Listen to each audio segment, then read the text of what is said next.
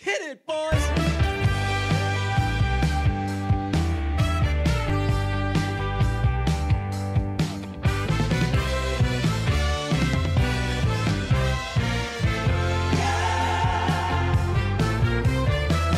Why spend eight dollars a month on a blue check mark when you can spend five dollars or even ten on brunch's Patreon?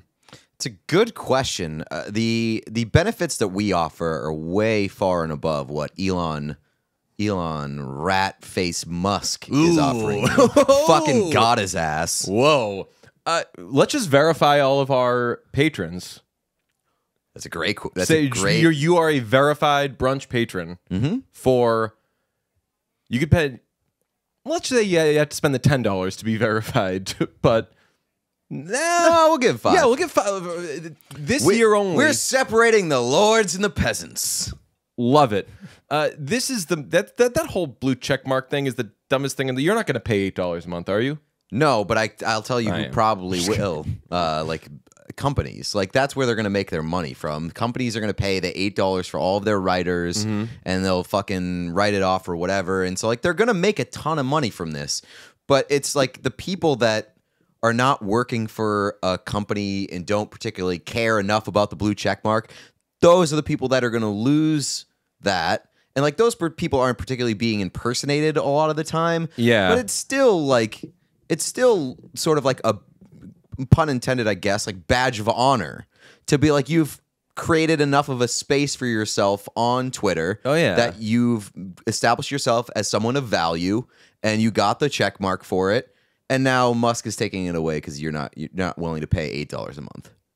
Uh, it's it's it's bad. It's no good. But what? But at the end of the day, it's also like who gives a fuck. Yeah, I mean, I've never. I'll when I got verified a million years ago, I was. I wasn't like throwing a party, It was and I was like, but I was I was like consciously not throwing a party because I wanted to throw a party.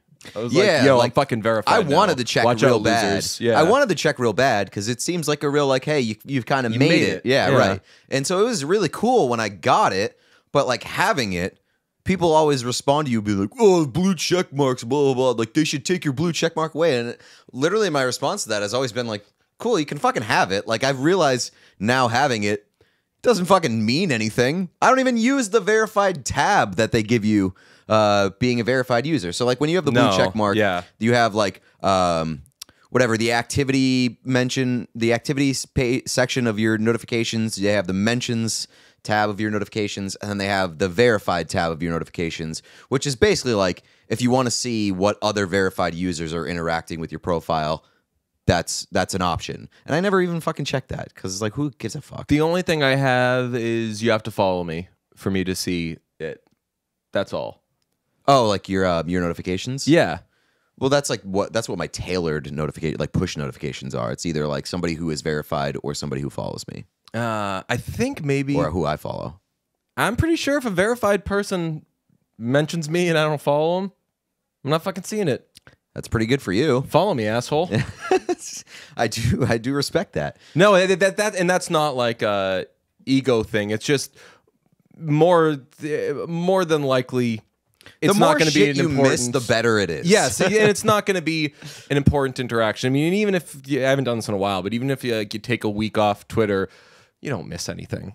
Like the You miss a lot, but none of it's worth missing. Like Ex- not, or exactly. nothing. It's not worth like keeping tabs on. and they don't miss you, which Right. actually feels very good. yes, Because, once like, once you once you become okay with that, it feels very good. yeah, that's I There were times when I was like, I'm gonna take a break, and then I take like a little break, and I'd be like, uh, nobody noticed that I was gone. That feels makes me feel shitty. But then it's like, I don't notice when anybody else fucking takes a break. There's Yeah. so much shit going on, and everybody cares is wrapped up in their own little world. Like they don't give a fuck if you take a break or you don't tweet as much. Like I used to fucking- get that with work all the time. I'd be so afraid to take time off or to go away for a week because well, they're gonna find somebody People to fill in me for the week, and then they're gonna be like, "Oh, well, it makes no difference whether it's DJ or somebody else." And then DJ's not there anymore, and then like I don't know, grew up a little bit and real like, just uh, do do what you need to. do. nobody, n- you're not as important to Exactly. anybody as you are to yourself. Exactly. And I see that with like a lot of people, especially like the way that I that people tweet, where I think Twitter can kind of give us uh, a heightened main character syndrome. Yeah, and some Twitter people, definitely makes you feel like you're important. in all the wrong ways. Right. Uh, so yeah, Twitter rocks. Uh, Glad, glad Elon Musk made that investment. best tweet I've seen about this uh, is, and it takes a lot for this to be better than some of the fallout we've seen on Twitter since Elon Elon Musk got Twitter. Was uh, Chris Fleming, a comedian I've I've quite grown to like, and who we should have on the podcast because he seems very brunch adjacent in that he like has his work that he does. He's a comedian, but I don't he can't really make it through one sentence without making some reference to like an unhinged pop culture take that he has.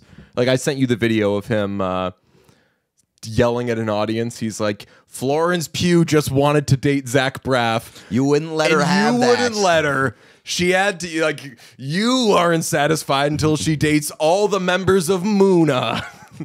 it's just like what a hilarious take and uh, observation. But he tweeted Elon Musk's Elon Musk's Twitter journey is very Jack Skellington trying to do Christmas. I don't. I, I don't totally understand that because I think that I, my uh, what is it? Nightmare Before Christmas. Yeah.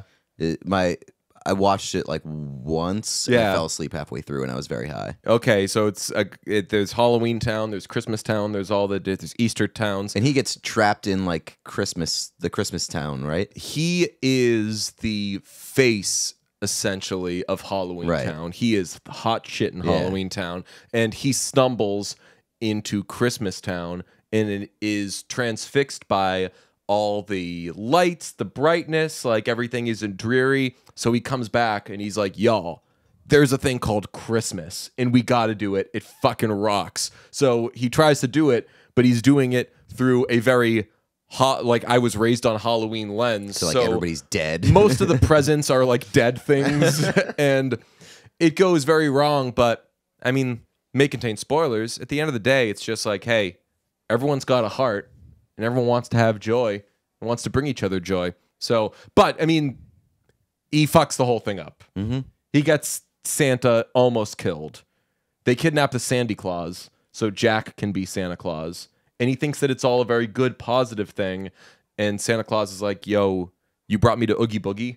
He's gonna fucking kill me man. They sing a whole song about it. It's great. Uh, but tim heidecker really has uh, done some of his greatest work here this is like probably heavily problematic, but in an effort to show that Elon Musk's big, like, I'm bringing free speech back to Twitter thing is not the most easily executed thing. Tim Heidecker yesterday just began tweeting that Donald Trump was dead. and then a bunch of people started responding saying, Yes, I have heard the same thing. And there's a Newsweek story about it. The first tweet was uh, there's a video of uh, uh, Trump. So the video is as Paul Pelosi reportedly remains in ICU, Donald Trump spreads baseless conspiracy theories that the attacker has already disputed. Uh, so Tim Heidecker quote tweeted that with Trump, I'm sad to say, sounds like he's dying here. I think, in fact, maybe he is and could possibly have a very grave disease of which he is dying. We don't know, but it's not good. so people, of course, respond. Somebody said, I just heard from a friend that he died. Sad face. Uh, Heidecker quote tweeted that with, Look, folks, there are one of two things that could be happening. Trump is dead and they are covering it up, or he is badly dying at the moment. Badly dying. Which do you believe? Then somebody responded with a fake like infographic that said, It's official, Trump has died. Horrible. Heidecker responded, Many are using hashtag Trump is dead to spread the word. Many are sad by the news. It's incredible. Awful. Uh, somebody said, fake news. He actually didn't die as badly as people are thinking. Heidecker said, some have said this, but what we've heard was it was very bad and died in a sick way! Exclamation point. Then later, here's what we know. One, Trump is dead. In parentheses, died badly. Two, Elon Musk has suppressed this news, or has he? Question mark. Three, Donald Trump Jr. is now just plain Donald Trump. Please like and share. I do love the idea of Heidecker uh, establishing a fan base full of MAGA people based on his last special, in which he essentially just mocked the hell out of them Yeah. and like possibly tricked a bunch of them into thinking that he was serious and then has parlayed that now into spreading disinformation about Donald Trump. Now you got like verified people tweeting, wild that hashtag Trump is dead. Almost seems unreal, but it definitely is real. Good thing Elon Musk eliminated the content moderation department, or it would have been hard for me to share the very true news that Donald Trump has died with as many people as possible. I mean, there's like a hundred more tweets I could read, but I think you all got the gist of it. It's a very dark and crazy thing to laugh at, lying about a person being dead. But I mean, if if ever there were a way to show in black and white terms, you there needs to be some sort of moderation of is this true or is this not true? Right. And today, of course, now there was some sort of uh, warning or like click through to see this tweet stuff on all of Tim Heidecker's tweets. And people, by the way, were responding like, "Shame on you! You should get suspended for this." And he's like, "Please, take me off of this." yeah. yeah, I mean, like, I'm sure he would love to be suspended and uh, he's trying to prove a point. yeah. So uh, I don't know. I, I feel bad for just like all the people that like built Twitter for the past fucking like 20 years. Yeah. And now all of a sudden Elon Musk is like, okay, this is mine now. And obviously he paid a fuckload of money for it. But like he's like, this is mine now and I get to do with it whatever I want. And also, like, if you don't follow my demands within a week, I'm going to fire you. So he reportedly told people, "Hey, I'm a code guy, so print out all of the code to Twitter, and I'll take a look at it." Bananas. And they were like, "All the code." So they did. They printed out like this gargantuan stack of papers and gave it to Elon Musk, and he was like, "Oh, well, that's This that's isn't what I ridiculous. asked for. I'm not going to read all this." So he had them shred it, and apparently Twitter is like a self refreshing and self like fixing thing where I I think a lot of things are like this. I know nothing about coding, so please uh, cover your ears as I sound really dumb. Any coding people, but uh, it like kind of fixes itself on the fly and does all that sort of stuff. And uh, he either didn't get that or the practice of just printing out all the code was completely useless because in like five minutes the code's going to be different or something like that. Lovely. Man, I mean, I started off as like, what's the big deal? Why is everyone being so mean to Elon Musk? He just seems like kind of a weirdo who, like, maybe needs a few more friends or something. And it seems like he's trying to have fun and he takes the piss sometimes. I'm starting to get it, man. Yeah, I'm starting to get it as well. It's it doesn't it seems like it honestly seems like handing a toddler a gun. Yeah. That's of putting ki- it. kind of the way that it feels where it's like this is a very powerful thing whether you like it or not. It is extremely powerful and it is extremely popular. And now because somebody made a fuckload of money, Hmm. they now have that very powerful tool and they get to do with it whatever they want. I've said this a few times. I got off Facebook a long time ago, and it was because of a borderline stalking is a dramatic term, but like somebody, some like troll, internet troll th- that didn't like me, he was like a Boston sports fan, I'm sure, was like finding Facebook pictures of me and photoshopping them and Well, just doing all this like weird yeah. stuff. And it, but it, it was like pictures that I hadn't put out there. So I felt really fucking uncomfortable with that. So I just fucking closed That's, down. that was almost my exact same experience with Facebook and why I decided to get off Facebook uh, was like after the uh, ironically the Trump thing. Yeah. Where like when there was a uh, when there was like a lot of backlash, all of those like crazy people got most of their ammo from Facebook. yeah. And that I was like, ah, no. There, there's like too much. I don't know if paper trail is the right word, but Facebook leaves a huge paper trail. Oh, it's yeah, and it's so easy. Plus, I had Facebook way longer than Twitter, like in high school and shit. So like, I I don't want to even know or think about like the stuff that I commented or like Yeah. that kind of stuff. Like, And that there's like I- pictures of you where you Right. probably look exactly like you look now. exactly. It's a high school joke. I know. Yeah. I got it. Thanks. Uh, yeah, but when I got off Facebook, I legitimately don't even think once that I like instinctively or out of habit typed in facebook.com a few days later or something. No. Like I, I just never thought about I, Facebook I again. never think about it now. Like whether the only time that I ever think about it is like, hey, my friend's like, I have this like event. Did you get the invite? I sent it to you on Facebook. Oh. And I'm like, I love when that happens. and I'm like, no, I'm not on Facebook. Yeah. I every now and then I or I used to this is long ago. I would still get emails that was like someone invited you to something on Facebook and I was like, I was don't like get those anymore. I'm not on Facebook. I know. I feel like my my account maybe like is like in zombie mode or whatever, but like I don't know. It self refreshes its code, so that's it's right. still writing The Facebook posts. I should you. I should uh, cl- uh one of the things that that uh well I guess it, it, the only thing that I missed after I deleted my Facebook was birthdays. It telling you whose birthday it was every day, and then I could say, "Hey, happy birthday." But now, Yeah. like Instagram serves that purpose because, like, if if my friend it's their birthday, there's a good chance that they're like sharing stories. someone's or- going to someone will have done a story on them they'll share it i've got some birthdays in my phone um, friend of the podcast jen mccaffrey is a birthday savant and i would love to learn her ways of she knows every she just knows everybody's birthday and it's not too maybe she keeps maybe she just adds it to her phone or something but you'd think it wouldn't be too hard a thing i if it's somebody's birthday now and i a couple years ago maybe this past year missed your birthday Yeah, like the, now I was just gonna say too. Like now, I think we're old enough that it like doesn't fucking matter if you miss Yeah. somebody's birthday or But I like feel- you missed my birthday. But I, I mean, you still feel bad. So now, whenever it's somebody's birthday, and I, I, was very excited to be like, You to- missed my I- birthday? yeah, I, I like turned it into like a.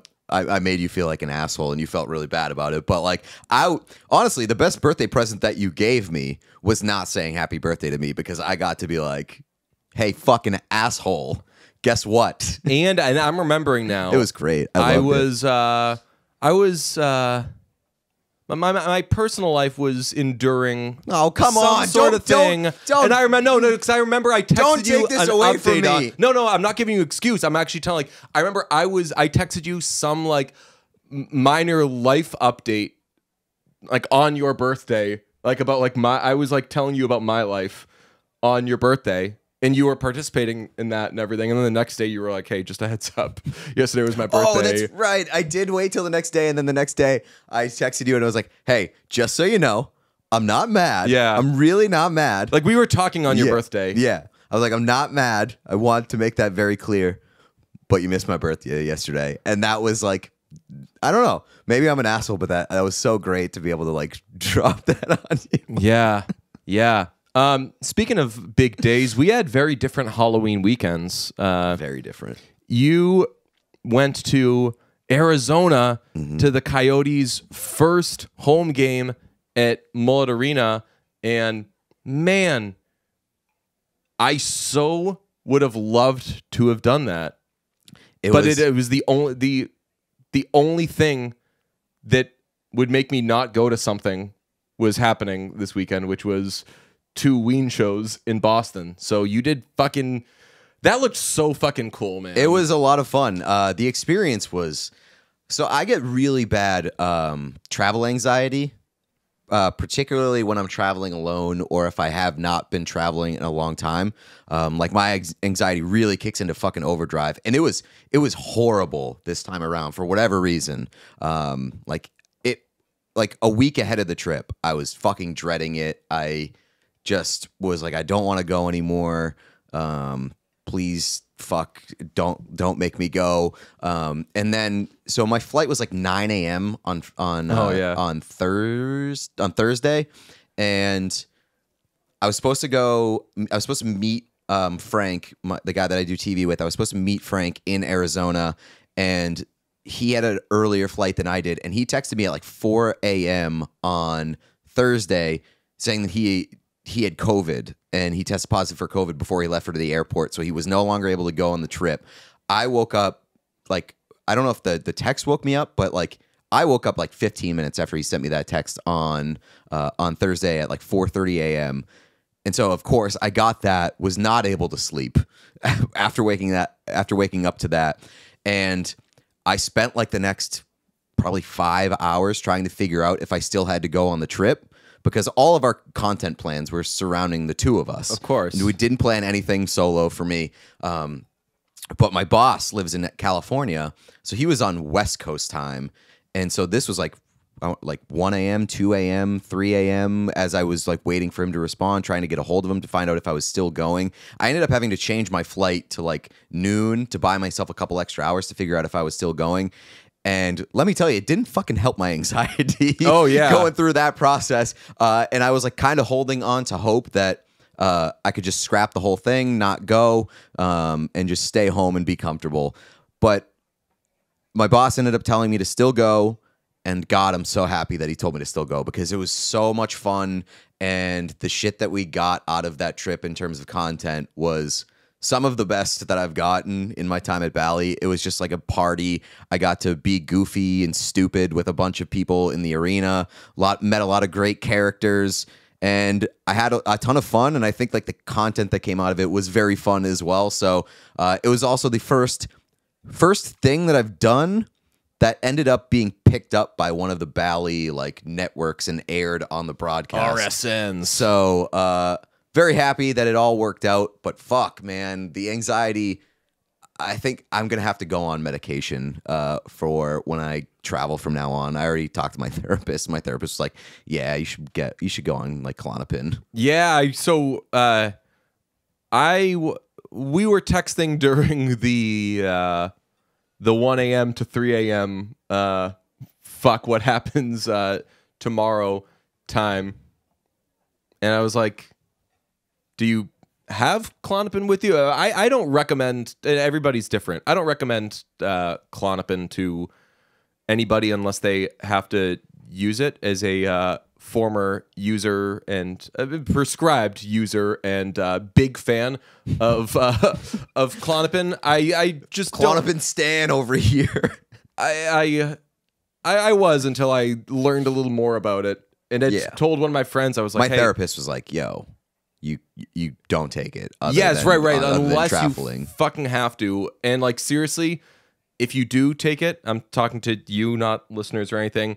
Like, take it for the flight, and as soon as you reach the right altitude, crack a window in the plane and throw the bottle out famously the window. crack crackable windows in, in that, plane, in that yes, aircraft for sure. Yes, because otherwise you might use too much Klonopin and die. Well, well, first of all, Do not crack planes and the windows in planes, everybody. um, yeah, I mean, like that's that was my situation with uh when I got my wisdom teeth out too, when they gave me the uh like the whatever, Vicodin, Valium. yeah, yeah, whatever it was. Uh, I I didn't take it and I just threw it out. Like, yeah. Oh yeah, that's what I. Yeah, if I if I it- get that shit scares me for sure. if I get prescribed uh, I have an addictive personality, and Yeah. so I'm very aware of that now. And um, yeah, like that's the only thing that scares me. But also, like you know, what also scares me being fucking cr- having crippling anxiety that prevents me from. d- Shut up. Oh my god. Having crippling anxiety that prevents me from from doing cool shit. Yeah, yeah. I mean, th- there's a, a lot of drugs. I mean- have like intended effects. Yeah, right. And also, like, this is not a new thing either. Like, I, I think my awareness of my anxiety and my depression has certainly grown over the past several years. But, like, I remember even when, in the early days of this podcast, like, that was the whole um, what goes up must come down thing. It was me having crippling anxiety about flying Yeah. and planes and like sort of that's how I dealt with it like joking about Chandler Bing style. yeah, y'all. right. Yeah. And so it's been a thing for me. Like when I talk to my therapist and when I talk to some other people about like my anxiety of flying, my therapist was like, that's wild because like I, I've, the thought has never crossed my mind that like this plane might go down whenever I get on a plane.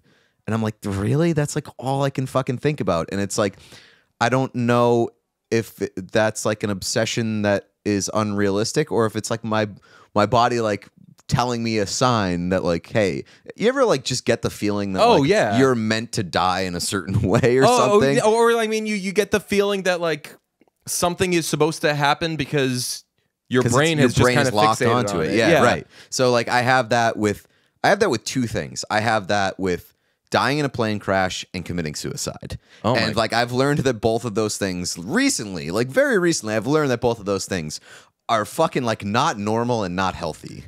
You uh one, one time we we had tied one on. I'm not telling tales out of school here, I hope. Uh No. You and I had tied one on and we were just like talking about life and everything and you brought up that latter point and I kind of like snapped out of being drunk and was like, "Okay, time out. We're not drunk. Uh we can always relate to everything and everything and I've certainly been suicidal before and everything, but like the the just like your viewpoint of it and like the way you were kind of coming at it, I was like that's not like a happens to everybody thing. That's something that like is worth checking in on. Yeah, so I've since learned that there's a term for it, and it is called suicidal ideation. Mm-hmm. And uh, I have realized that that is like, or I've been, it has been communicated to me that that is a symptom of depression and like anxiety. Who knew?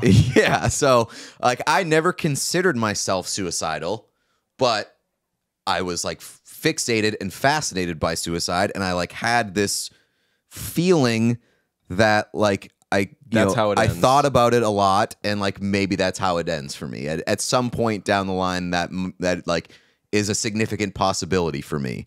And my therapist was like, "Yo, that is that is suicidal ideation, and you are suicidal." So it was nice to realize that, but like I, I get we're kind of like going uh, not off the rails, but like off track. But the anxiety and depression awareness has really grown exponentially for me over the over the past few years.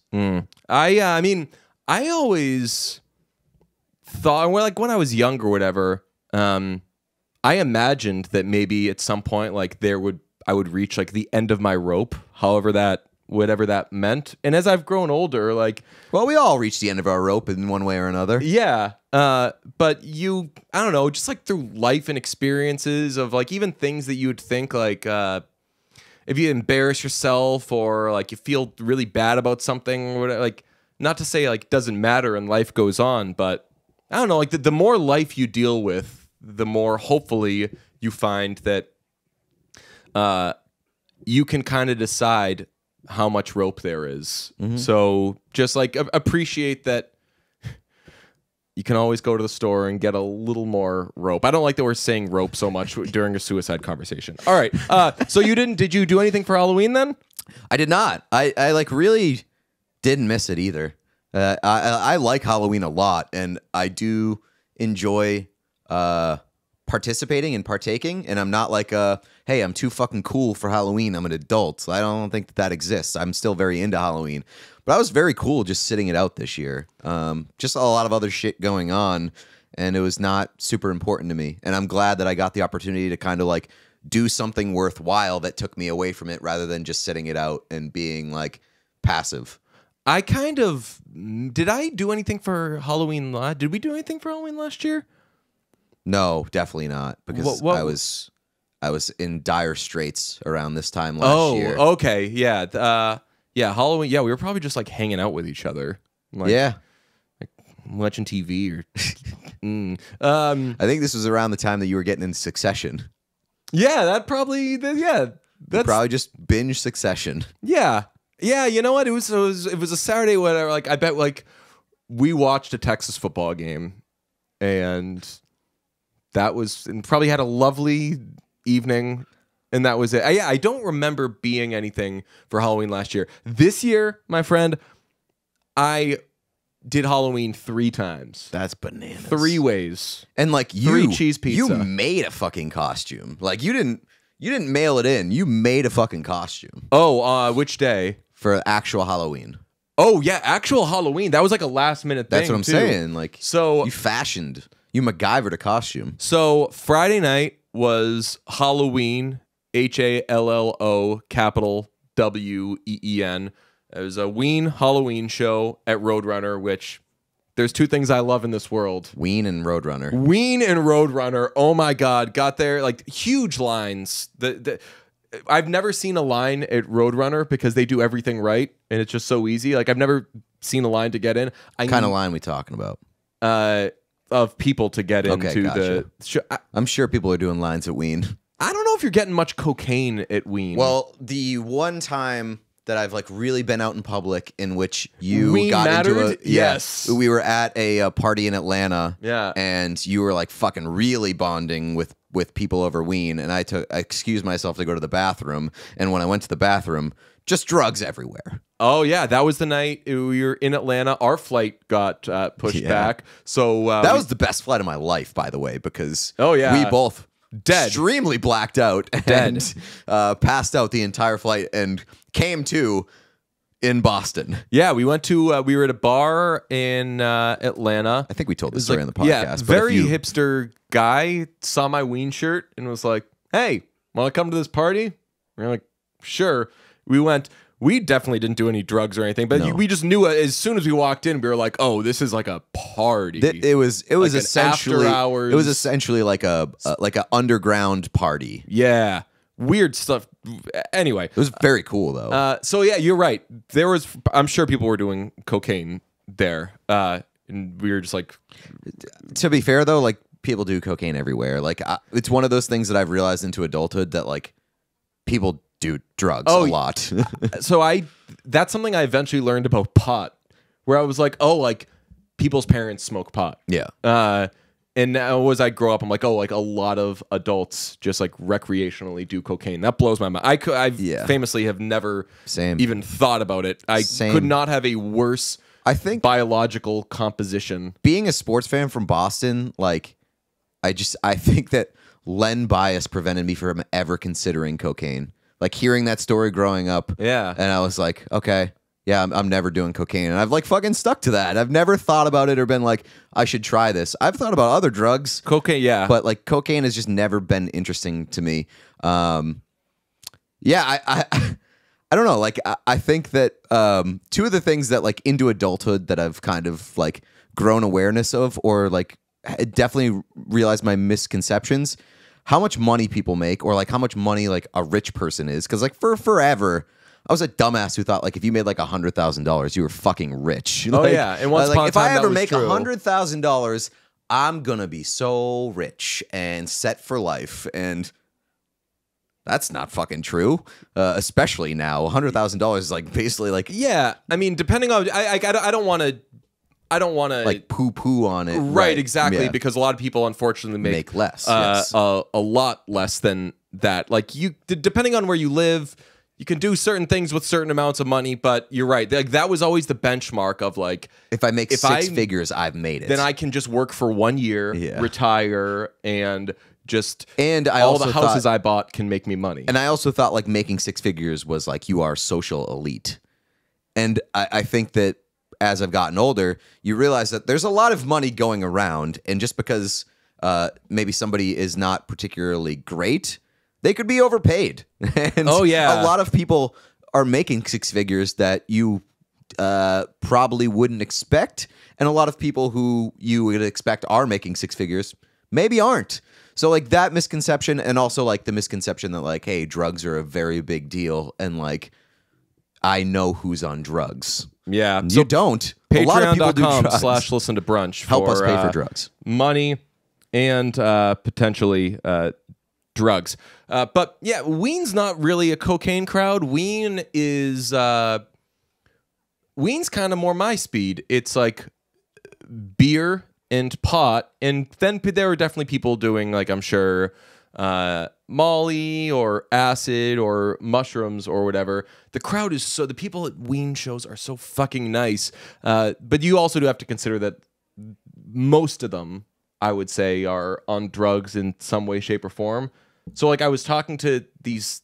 There was a balloon being. But being an outsider, like I don't even feel like that's why people are nice. I feel like Ween is so fucking like niche and weird that like you We found each other. You appreciate it's unifying that you found somebody that appreciates it appreciates something so fucking weird. Yeah. So uh, Friday, uh, Dave Lefkin, friend of the podcast, came down and we went to the show.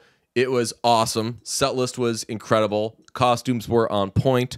Dave and I uh, were. There's a lyric in the song "Mr. Richard Smoker." Bruce and Jeff will pick you up at ten.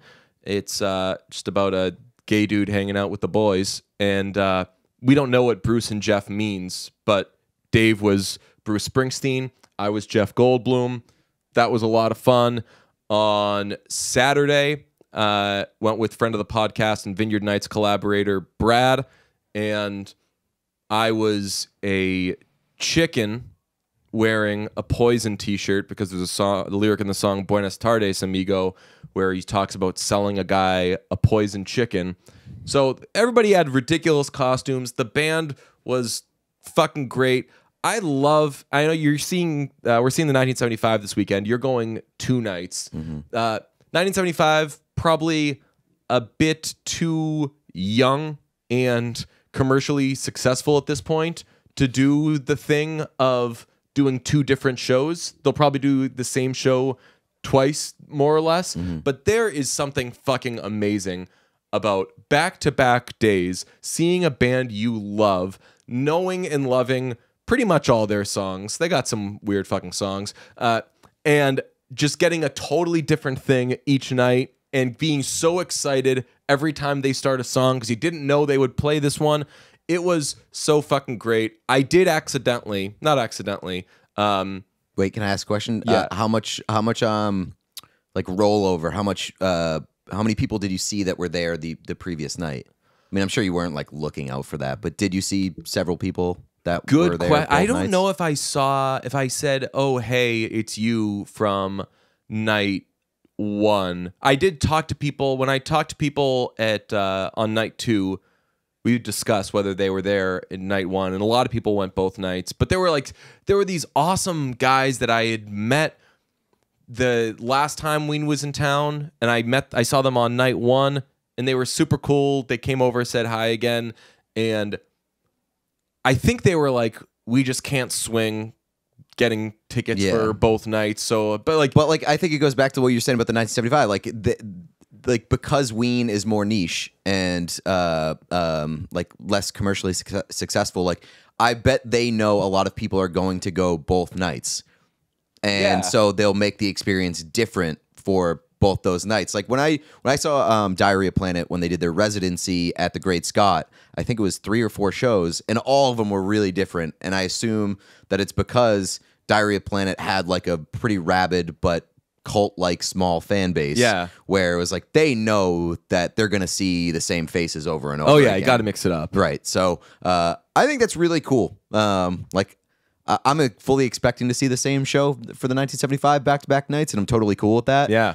Because I, I and I also want to experience it from like the floor and maybe up up top or whatever. So I'll like make the experience different for myself. But I think it's cool when like you get to see basically two different two different concerts. I wish back. that I wish that you could have gone on Saturday.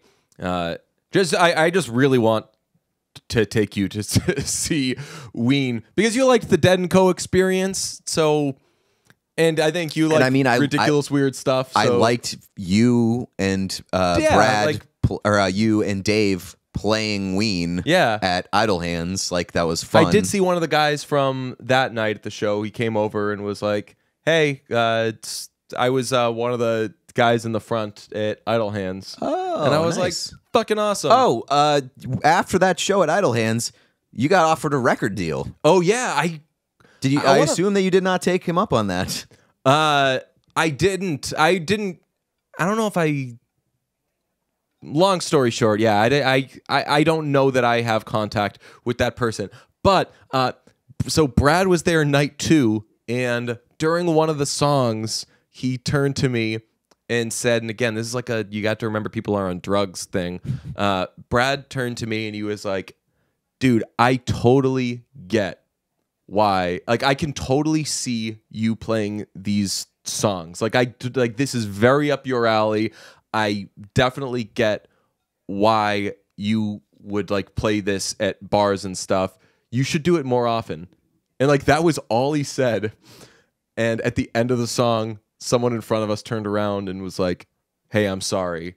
Uh you guys are like really like freaking me out with all the talking. And it was like the oh, I felt so fucking bad because I don't know. G- generally, if someone turns around and is like, "Hey, you, shut the fuck up," I'm like, I probably had it coming in some way, shape, or form. But this was a, I was uh, night one. I was, I played it a little too fast and loose with uh, my level of inebriation. Enthusiasm. No, like I was, Oh. like, I doubled up on the gummies. Oh, uh, had Yeah, a lot of light beer and was just on another fucking planet, which made it fucking great. I was in heaven. But night two, Wait, but like when you were you talking a lot on night one? Because like when I double my dose of gummies, let me tell you what I'm not doing. Oh, it's one. I'm not speaking in a public forum at all. I- I, I mean, speak for hours. Dave would have to answer that question. It's either I didn't say a word or I I I couldn't I can't see myself talking too much during Ween No, or during and- concerts yeah. at all. Right, and I like I,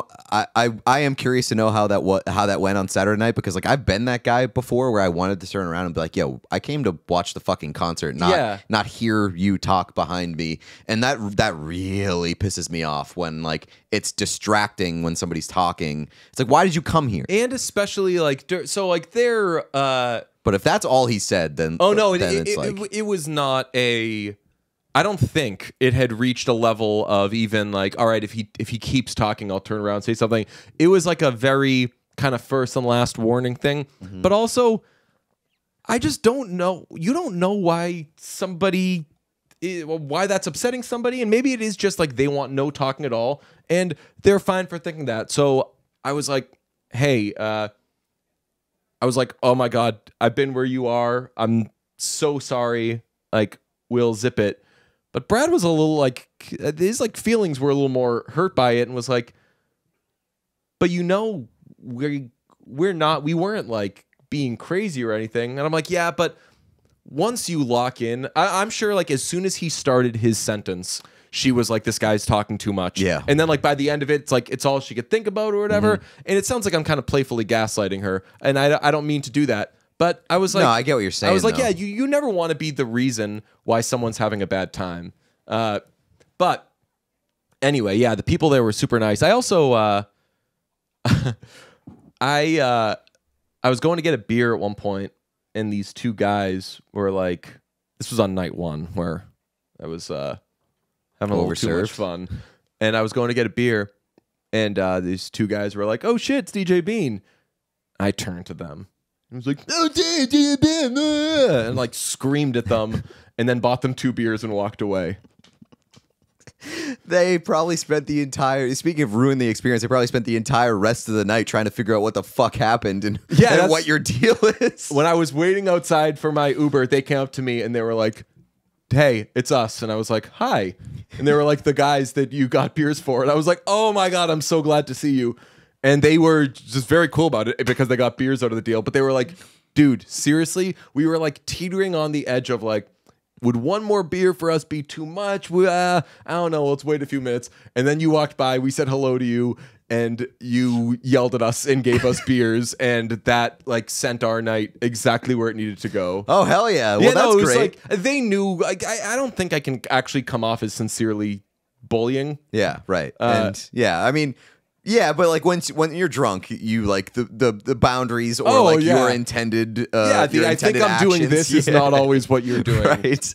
Uh, I do fucking love the idea of like being an asshole, but then like counterbalancing it with a very nice gesture and like leaving people in a very in a very uh, Confused wild state, state. of confusion. Yeah. Uh, I mean, I'm I've, I've unfortunately kind of been going down that road a little. You remember at the Father John Misty concert, a guy was like, "Dude, so good to," and I gave him like a make you flinch sort of thing. Who? Uh, the guy uh, after the concert, and then he hung out with us. He was so nice. I don't remember. It made, like it made him laugh. That seems like one of those. I like uh, interrupted him that as he was like saying, one of like, those "Dude, it's super nice." situations where your intended actions may be interpreted differently. I didn't do like a full blown like lunge at him. I just did like a like a small little like, Just like, hey, you want to marry your mother-in-law? yeah yeah yeah that sort of flinching thing. But uh, yeah, both nights of Ween were uh, were so so much fun. And then yeah, the, then actual Halloween last minute, I got some felt and threw together a Johnny from Sing costume for my nephews because they love Sing. They didn't totally get it, um, but still went trick or treating with them.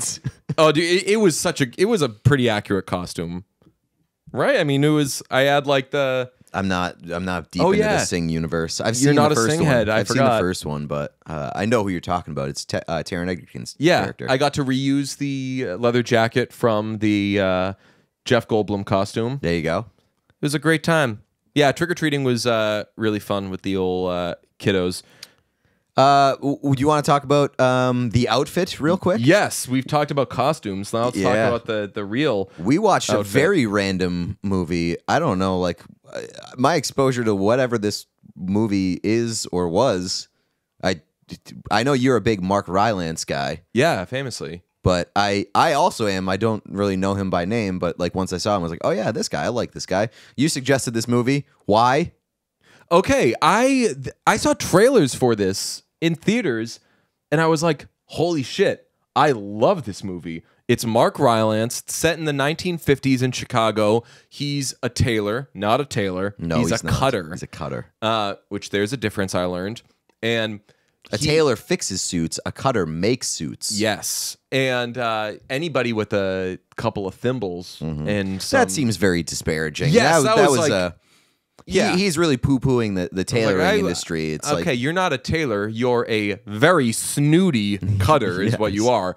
But uh, he has some criminal ties. He uh, basically has a drop box for uh, a gang to put their money and their messages and everything, and they stop by. his his uh his cutting shop has basically been co-opted by the the mob as a not a headquarters but like a um I don't know like a little a, gas a- station. a little gas station yeah well, like a, a little communication stand Yeah. And uh, one night, somebody comes in and there's trouble, and they have a big, long night in this tailor slash bespoke slash cutting shop. And I, I just remember from that trailer, I was like, all in, all in, so excited. I didn't remember it hitting theaters. And then the other day, my sister was like, "Hey, I watched this movie on Amazon Prime, uh, The Outfit," and I was like, "Cool, what's it about?" She was like, "Oh, you'd probably like it. It's Mark Rylance." And I was like, "Hold on a second. and she starts telling me about it. I was like, "That fucking movie came out. What the hell?" yeah I had no idea uh that like this I didn't see a trailer for it I don't think I no exposure it was like less exposure than uh uh confess Fletch Yes. um, but this was my first exposure, I believe, outside of Curb Your Enthusiasm to one Dylan O'Brien. oh, really? Yeah, Dylan O'Brien is the. Uh, the I mean, I knew that. I so I as I was watching it, I was like, "This is a good movie for brunch" because I'm a Rylance guy. I'm a he Dylan likes O'Brien. Dylan O'Brien I'm a, lot. I'm a Dylan O'Brien, uh, like as a person kind of guy. No exposure to his work. So you're like in the early days of the 1975's relationship with uh, Brunch, Yes, where I would, I didn't have songs to send you, but I would send you Matty Healy interviews. interview clips. Yeah, And then like a year later, you were like, "Have you heard any of his songs? Because I've been checking them out. and They're good." yeah. Now I'm the 1975 Yeah. guy by by some uh, twist, but Because uh, you listened to their music. Yeah, true.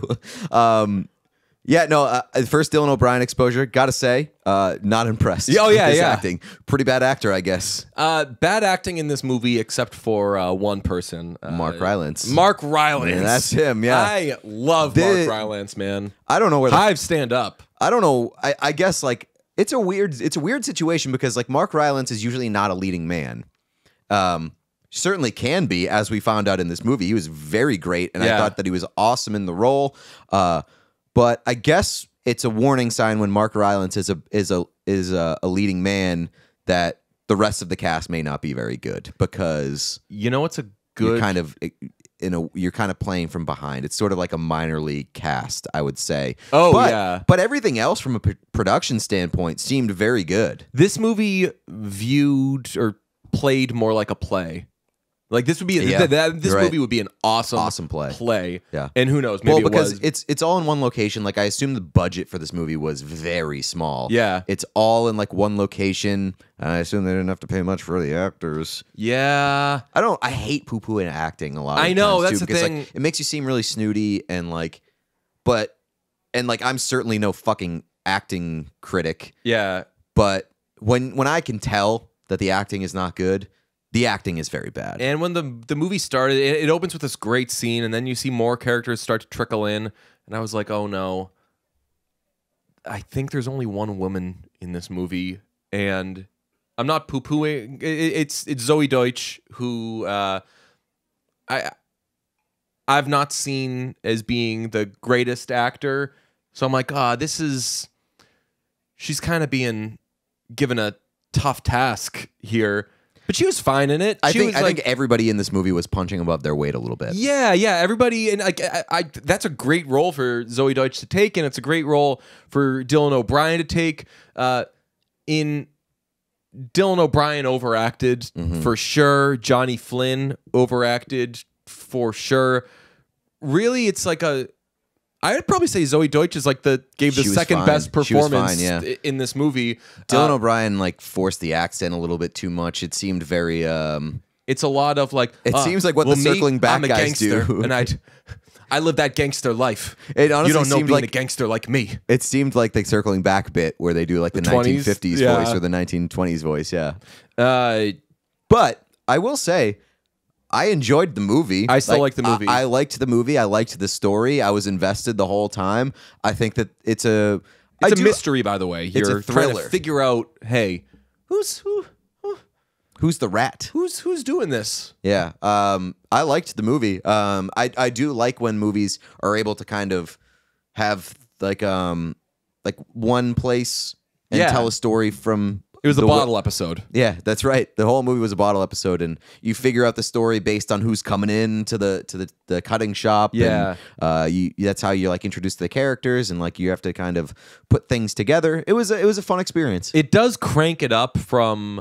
It seems like it's never going to reach a ten, which you're fine with. Mm-hmm. Like this movie, if if this movie were a paint job, it would be matte.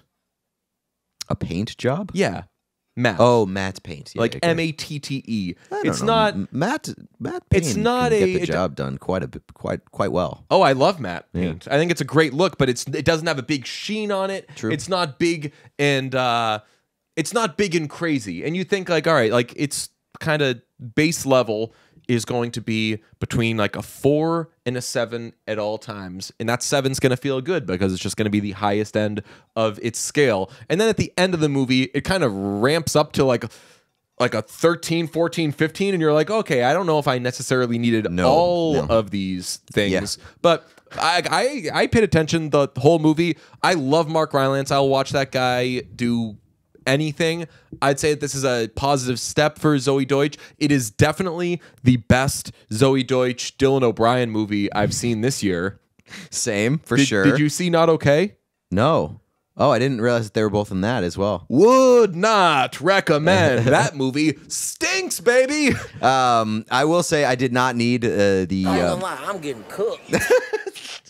I did not need the final like ten minutes of that movie. yes that's what i'm talking about Yeah, man. I know. Like- I know exactly what you're talking about. I did not need the final ten minutes, and it's hilarious because um, I had a I had a meeting um, like about, about an hour ago, and I stopped right before the final 10 minutes so I, I like assumed that it just ended kind of there and i was like oh dj's only gonna dj's gonna be here in like 15 minutes okay i'll, I'll watch the final 10 minutes of this movie holy fuck it becomes a whole different movie yeah, the movie really uh it really rolls up its sleeves. Yeah. Uh towards the end. And yeah, it didn't need all of that, but man, Rylance Hive. Dude, it's it's kind of like when um when like somebody gets a little momentum telling a story and then they are they kind of get carried away with like how invested people are and like how many ears. They really like they're like ooh I've got everybody's attention. Let me keep telling stories. I don't want to give up the attention. And then they start like kind of losing people. That's what this movie did I think. Yeah. I'm trying to uh okay, just want to make sure. When you said Mark Rylance ideally is not uh the leading man, he's like an Octavia Spencer level Mm-hmm. supporting actor.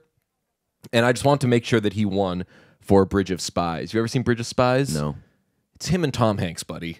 And you come away from that movie being like, Tom Hunks. Tom who?